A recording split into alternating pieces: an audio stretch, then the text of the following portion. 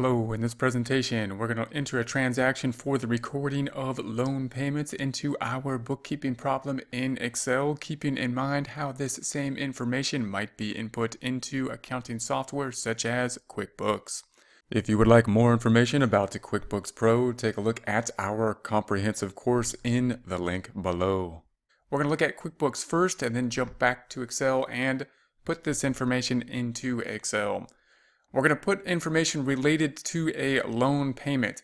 So the first thing we need to do is break out what that payment contains. What is the arrangements of the loan? When we make the payment, what amount is it that will be applied to principal versus interest? So first we're actually going to look at the amortization table.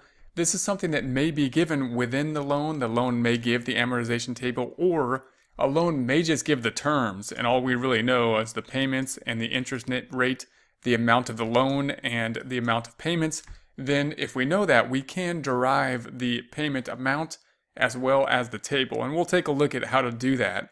Once we have that information, the amortization table looking something like this, in this case, we're saying we have the loans that's going to be all the same, kind of a car payment type of loan, or if we're making a loan on a mortgage, we would have the same type of, of concept where the payments remain the same, but the amount allocated to principal and interest differ. If we were to input this information into QuickBooks, we would do something like this. We're going to enter it into the register this time. We could write a check, but we'll take a look at the register and put it directly into a check register. And that will be something looking fairly familiar. So if we scroll down, if we went to QuickBooks and went to banking and use the register, then we look at the checking account register then we can enter this data. Now the register may not look quite as familiar since we only see one transaction, but it's going to be familiar to if we are going to write a check by hand and put it into our checking account to register. We have the date of the check, which is uh, February 1st, and it's going to go to Chase. The amount is for that amount on the table, the amount of all the payments. But then we had to use the split icon because it's not going to one other account. We can't just reduce, for example, the loan payable because there's an interest portion and a principal portion to this payment. So we got to record both the uh, interest, and this should be, this is insurance, that's a, it should be interest expense of the 300, and then the loan payable would be uh, the difference. So this is one way we could record that first check in, and in order to do this, we need to know what those two amounts are, uh, which we don't always have the amortization table for, and we can make that, we'll, we'll produce that, and uh, then we need to be able to post that out. If we did that for the second payment, we would have the same thing, the same check. In this case, we wrote a check for it, just to show a separate item to do that. We're writing a check. We have the check amount here, same amount for the check, but, and this should be interest expense, the interest expense portion changed as compared to the loan payable. So we have those three accounts. We're going to see those same items as we enter these two items into our uh, Excel problem. Within Excel, we're first going to look at what we're talking about in terms of the amortization table, and then we'll get back here and put this information in. Note what we have here is a $72,000 loan. We're going to say that that's all one loan, and what the terms of the loan, we'll give the terms of the loan, and we'll give the idea that we got the terms of the loan, but we don't have the amortization table, and we'll produce that to see how it's made, and then that'll give us some idea as to why we have to break up this this uh, payment in a little bit different way than we might first think uh, when we put in this information. So I'm going to scroll all the way to the right and we're going to have an amortization table that we will put together. So we're scrolling all the way to the right and we're scrolling all the way past that to the loan payable. And I'm trying to keep all this on the same tab uh, so that we can we can move back and forth and use formulas between them. So here we have our, our information. Uh, when we take a loan out, uh, they're probably going to give us this information and they might not give us the amortization table, which we can then derive. So we'll produce that now. So we have the loan, which is 72,000. We have the monthly payments, which we're saying are 60, and the rate we're saying is 5%. So if we're going to give this as the type of loan that we make an even payment over 60 months, five years, Every month we make an even payment until the loan is down to zero, but we have to factor in that interest, the rent in essence, on the money that we are uh, borrowing. Then, one, we're going to make that payment amount. This is something often given in the loan terms, but it's a calculation that we can put together here uh, in Excel. common type of calculation that's useful to have and we can use a function to do it. So we'll, we'll function, we'll find the payments based on this information first, and then we'll go down and make the amortization table because that's not going to be all the information we need. We need more than the payment. So in order to make the payment, we're going to do a function here and use this information to figure out what a payment would be if we had to make 60 payments at 5% and pay off a $72,000 loan. So we're going to say equals, and the formula is PMT, payment, and we can double click on this item here or just select uh, brackets, shift 9, I'm going to double click on it. And then it gives us our items here. So everything, every time it says, it gives us a little cheat sheet. We want the rate, comma, and then the number of payments, comma, and then the present value. So all we're going to do is pick up that information. The rate is that. Tricky thing, however, is the rate is going to be over the time period we're talking about. Whenever we have a rate, that 5% means 5% a year. What we really want here, though, is the rate per month. So what we need to do is take that rate and divide it by 12 months. So that's going to be the most confusing part of these types of formulas to make sure that we get the proper rate for the time period. Most people not really understanding what rate means. And if we were really to tell someone a rate, such as a mortgage rate on a house was 5%, we would really be saying it's 5% a year, even though we're making monthly payments. So uh, that terminology can be a little bit confusing. So that is the most confusing part. Then we're going to say comma, and then it says we need the number of payments in per so that's going to be the payments. That's going to be, or that's periods, number of periods, um, payment periods in our case. So we're going to take 60 of them. And that's going to be that. So we're going to say comma. And then we want the uh, present value. That's going to be the amount at the beginning of the loan, the $72,000 loan. And that's all we need. So we can close it up or just hit enter right now and it'll give us the payment.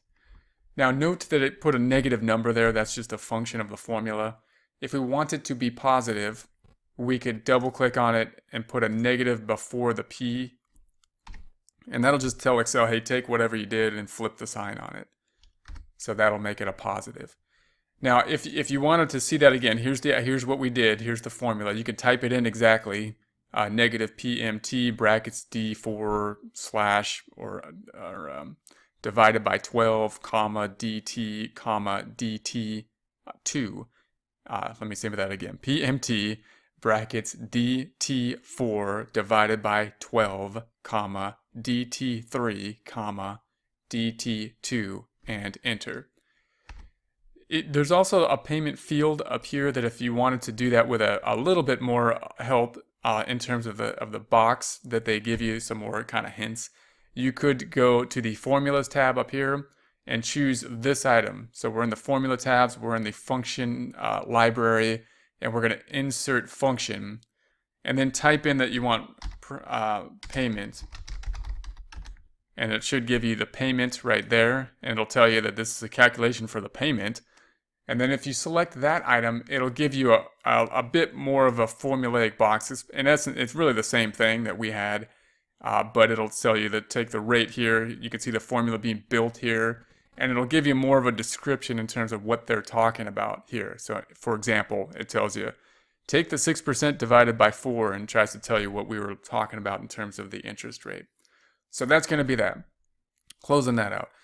This is, this is good information because when we write the check, of course, that's what we're going to write the check for.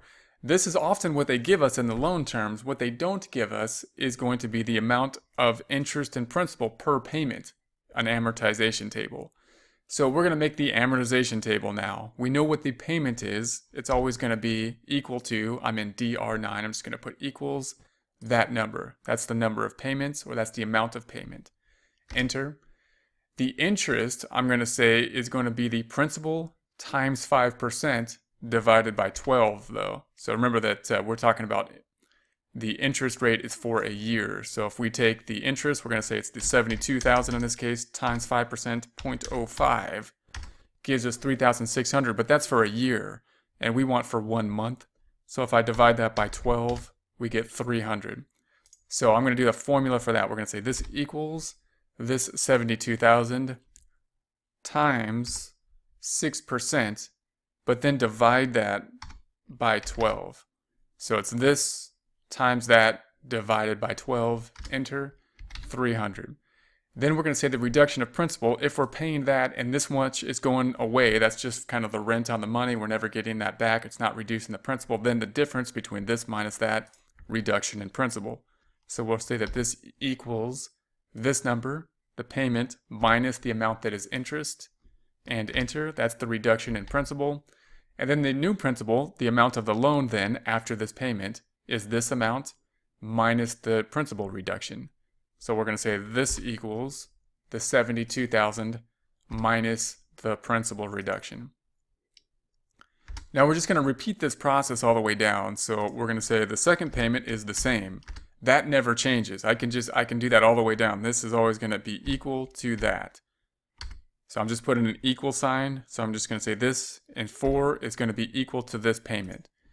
And the nice thing about that is that we can copy that down. If I autofill that down, uh, QuickBooks will just put that same number all the way down. So I'm going to put my cursor on this little icon so it looks like that, not like that, but like that, and then drag that all the way down. There's going to be 60 payments. We're going to go all the way down to 60 payments way down there. And it'll all be the same. So that we can just autofill off the bat. The interest is going to change, however. It's always going to be based on the new principal and that's going to be a changing factor. So we're going to have to say the interest this time will be equal to this number times 5%, and then we have to divide it by 12. And that gives us 296, a little bit lower than this interest because the principal has been reduced.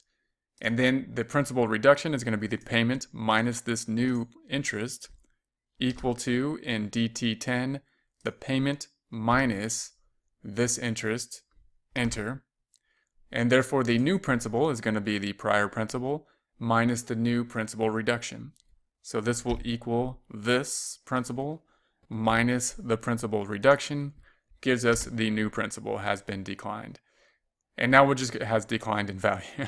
so now we're just going to keep doing this on the way down. So we got the new interest. The payment is still this. The interest then is going to be equal to and we won't do this manually the whole way down. We will autofill it after the next time here. So it's going to be that times the 5% divided by 12, enter.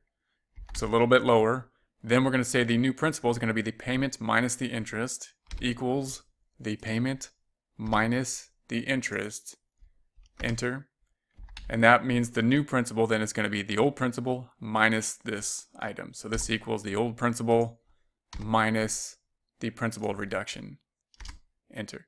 Now we're going to do this one more time and we're going to try to think about how can we put this in place so that when we copy it down, it does what we want. In other words, if I was to highlight these three cells and autofill it down, would it do what we want? And let's try that. I'm going to try that one time and see if it does. And then I'll build another row in a way that I think will work.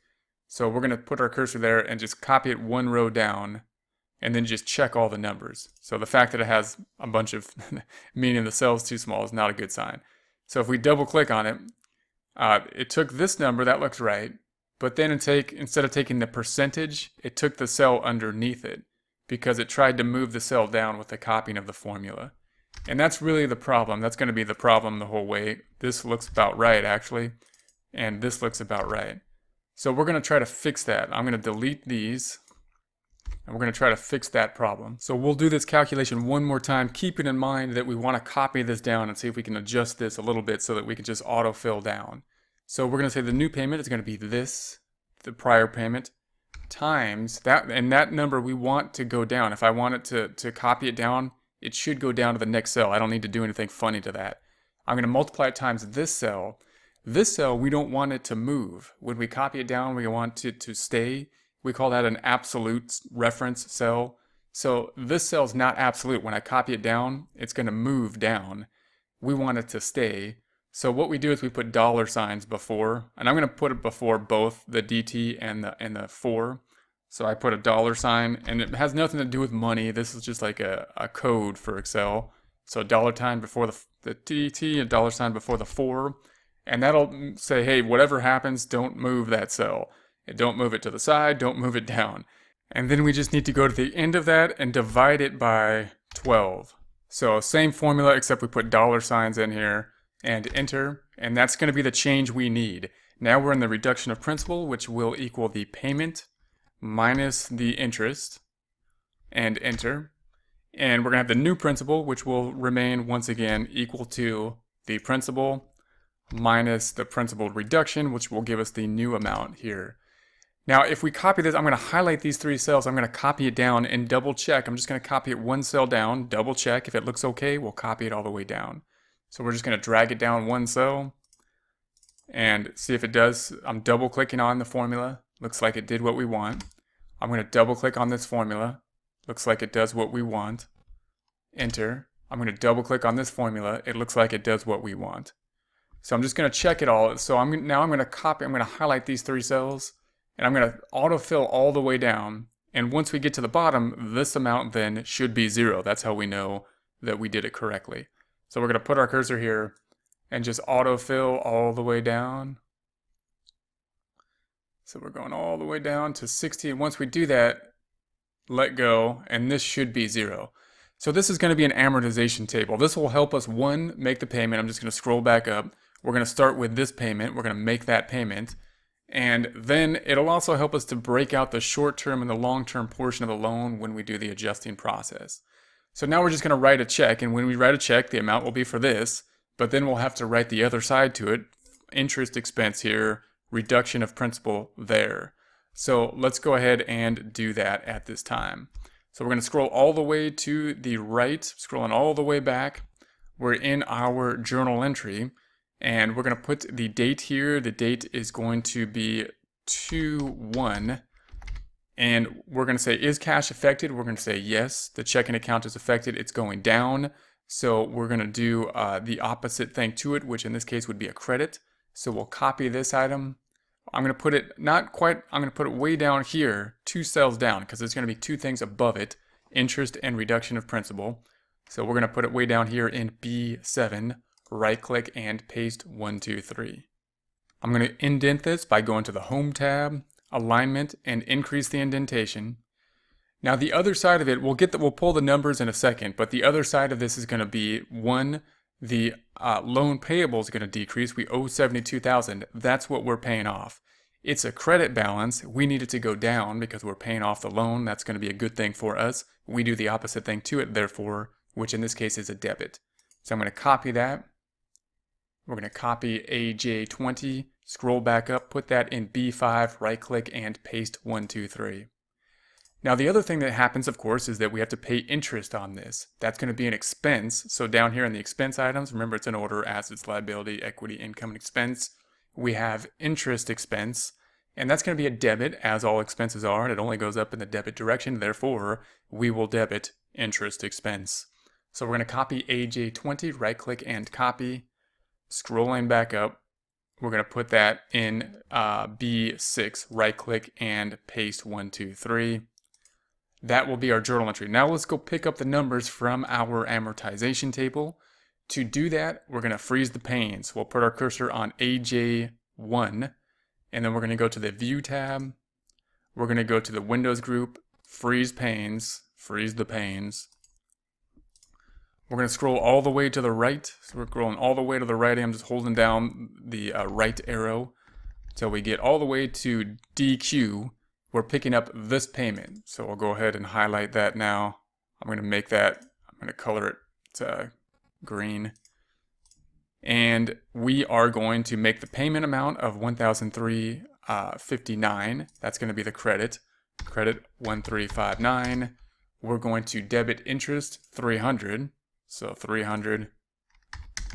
And we're going to have the, I'm sorry, the, the interest is here, 300. And the reduction in the loan is 1,059. So 1059. If we add up the debits, we highlight these. They add up to 1359, which is equivalent to the credits. Now I'm going to go all the way back and we'll post this. The quick way to go back is I'm going to put my cursor on this side of the freezed panes and then just hit the right arrow one time. So I'm right here on the D column and I'm just going to hit the right arrow or two times and then it goes all the way back over. All right, so now we're going to post this. Here's our journal entry. We're going to journalize the journal entry starting with the loan payable. There it is on the journal entry. Loan payable is down here. It's the last orange account on the uh, trial balance. Therefore, it will be the last orange account on the general ledger. So we're going to scroll. It's in order, assets, and then liabilities. And here we are. We're in the last liability. It's what we want. There it is. It's up at the top, actually. We are in the debit section. We're in uh, BG8. So we're in cell BG8, and we want to pick up that 1059. So we're going to select equals, and we're going to post that 1059 and enter. So that brings the balance down to 70,941. Scrolling back over to our trial balance, we see that same amount then 70,971 out of balance down here by the 1059 until we record the rest of this journal entry. Interest expense, uh, next item, it's going to be way down here. Interest expense is way down here, so it's going to be way over to the right on our general ledger. Scrolling right, we have assets, we have liabilities, we have um, the equity, and then the income statement.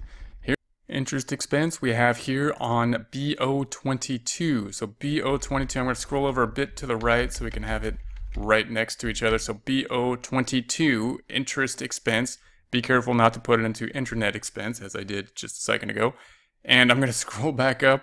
We have to go and pick up this number, that 300. So we'll have to scroll just a little bit or we can make this, I'm going to make it a little bit smaller. So we're going to tap down from 120 to 110.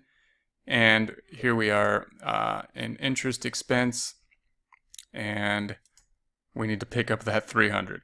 So we're in BO22. We're just going to say equals and point to that 300 and enter. There's the 300. Going to bring us back up to 120 by selecting this item, back up to 120. Scrolling left, we're going to look for that 300 over here on the trial balance. So if we scroll down, there's the 300. That then brought down net income. We have a loss. That's the only thing we have so far, meaning revenue minus expenses mean that the debits of expenses are currently winning. Out of balance by the 1,359 until we record the check amount. That checking account, first account on the trial balance, therefore first account on the general ledger. We will be here in AN8. We are in AN8 equals point to that 1,359, bringing this balance down from 94,437 down by 1,359 to 9378. That 9378 then found here as well on the checking account. We're going to do this same transaction now for the second journal entry just to show uh, the difference in the two transactions in terms of the loan payment and the interest as we record it in order to do that, we're going to jump to the end of the month. And this is a little bit strange. We're going to be a little bit out of order. When we post this, it's going to be a little bit out of order on the general ledger, so bear with us on this. Um, we just want to record the two transactions at the same time to see the difference. Uh, and so that's what we'll do here. So we're going to say on 228 then, we're going to record the loan payment at the end of the month and be able to compare and contrast them right next to each other, even though note that we're talking about a, a whole month apart of loan payment that we're recording at the beginning and the end of the month. Okay, so to do that, we're going to scroll all the way to our loan again. First, let's just, it's going to be these same accounts. I'm going to copy these same. I'm just going to highlight these same accounts, right click and copy and put them right here on B9, right click, paste 123. Same amounts. I'm going to adjust the formats, go into the home tab, make this one there, and I'm going to highlight these two, home tab, alignment, increase the indentation there. So the structure will be the same, meaning we're going to write a check, we're going to reduce the loan payable, and record the interest for the other side. Scrolling all the way over to the amortization table then, we're going to scroll all the way back to the amortization table, just holding down the right arrow until we get to the loan amortization. We are now on the second payment. So here's the second payment. We'll make that. I'm going to right click. I'm just going to make it a different color so we can see it well. There it is. And we're going to say the payment then, same payment amount. It's going to be a credit, reducing the checking account, 1359. Then we're going to debit the loan amount though for 1063, 1063. And the interest is now 296, 296. So there is that. Now we're going to post this, so it looks exactly the same, but notice it's a little bit different. Now we're going to post it here. I'm going to put my cursor right here, and I'm going to click the right arrow to go all the way back again. Note you can also on your keyboard select the home and that'll take you to A1. Uh, so you can use that. I'm going to select keyboard just so you can see it, and then I'm going to go to the right, and that'll take us all the way back. All right, so then we will record this out and post this. Note, I just want to point out at this point in time that if you don't have the amortization table, or if this is too confusing and you work with a CPA firm, uh, you could make an arrangement with the CPA firm or whoever does your adjustments at the end of the month or the end of the year and say, hey, I have a loan. I don't understand this amortization stuff. I just want to write a check and put it to one account rather than two accounts and to not have this adjustment that I have to make that changes every time because that's confusing. Then you could just say, hey, I'm just going to put all the other sides to loan payable, meaning I'm going to credit the checking account and the other side, when I write the check, just goes to loan payable and it's going to be for the same amount. And I would like you, as my adjusting department, to go in there and then fix the amount that should be allocated to interest versus the loan. And that's a, that's a very useful way, functional way to do it. It does make it does mean that the loan payments uh, won't be right. The loan payable amount won't be right until it is adjusted at the end of the month. But it's a way to simplify the process for the bookkeeping and then just make a, an adjusting process at the end. So keep that in mind if that's an option for you. But we're going to post this out now, starting with the loan payable. There's the loan payable. We have the loan payable down here. It's the last orange account on the trial balance and therefore last orange account on the general ledger. Scrolling to the, to the right in order to find that last orange account. We see it here in uh, BG. So we're going to be down here in BG uh, 9 and we're going to say equals and point to this 1063 bringing the 70,941 down by 1063 to 69,878. Scrolling back over, I'm going to scroll all the way back over. Scrolling to the left, we see that same amount right there. Then we're going to record the interest. Here's the interest that we're going to record. Here it is on the trial balance. It's the interest expense, not the internet expense. It's going to be in the same order on the general ledger. So we're going to look for those dark blue accounts for the interest expense on the general ledger. Scrolling to the right, we see the uh, interest expense here. If we scroll up just a tad, we can barely see it. There it is. We're in BO23. We're going to say equals that number. BO23 equals point to that 296, that's going to bring the balance up from 300 by 296 to 596. Scrolling back to the trial balance, we're looking for that 596. Scrolling to the left, scrolling down, we see the 596 there. Then we're going to record the last piece, the checking account, reduction of the checking account. Here's the checking account here. We're going to be in the checking account in AN9 and just select equals and point to that 1,359 and enter. Brings this amount down to 91,719 that found here on the trial balance. Now we're just going to see what happens to our financial statements. First look in the financial statements for the new month. We did something to cash, so I'm just going to point that over there. We did something to the loan payable. Let's see what happened to our financials there. We did something to um, interest expense. Let's point that over and see what happens to the financial statements. Scrolling all the way to the right to the financial statements, we're just going to scroll to the right. We see that cash has been adjusted automatically. We see that our assets still equal our liabilities and equity. Our loan payable has been adjusted. Scrolling down to the income statement, we see that the interest expense is adjusted here, giving us a loss because we have no revenue yet. This is the first thing that has happened. And of course, this is uh, interest expense for the first and uh, last month. So keep that in mind as well. Uh, we recorded both of them just to see two payments. And then that net loss is in our um, statement of equity. And it's used to get our ending statement of equity amount 143,579. That also found on the balance sheet.